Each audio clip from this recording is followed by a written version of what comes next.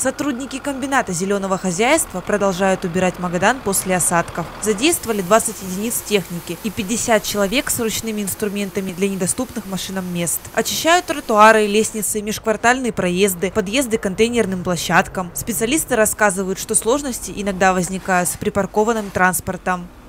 По сложности а, бывают а, иногда в припаркованном автотранспорте, который а, мешает. Ну, обычно оперативно его убирают, либо на следующий день нам приходится возвращаться на это место и дорабатывать его. Сейчас производится первичная очистка, а именно в один проход делается лестница не в полный размер, чтобы максимальное количество охватить их в минимальное время. В дальнейшем оно будет все дозачищено от бордюра до бордюра, все лестницы будут вычищены и безопасные для пешеходов.